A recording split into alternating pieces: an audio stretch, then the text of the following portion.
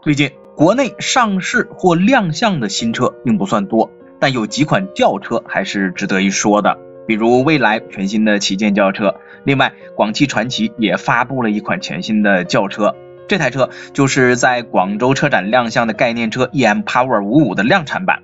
EM Power 五五亮相之初就在车展上引起了巨大的轰动，因为这台车确实非常的漂亮且具有质感，虽然是一台概念车。但实际上，它的各个方面和量产车基本无异。作为广汽传祺 GPMA 平台的首款运动轿车，EM Power 五五的量产版会有两个版本，一个是绿色的，和车展上一模一样，而另一个版本是白色的，看起来没有那么张扬，比较居家。全新的家族语言让整个车头非常的具有攻击性，尤其是车头部分的下沉，运动感极强，而车身的侧面更是整车最漂亮的地方。线条异常的优美运动，车尾微微的翘起，与车头和侧面交相呼应。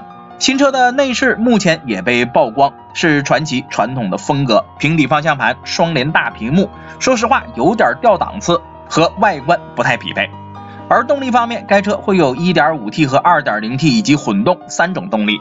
据悉，该车有望在九万元左右起售。如果你近期有入手轿车的打算，那么 EM Power 五五倒是值得关注一下。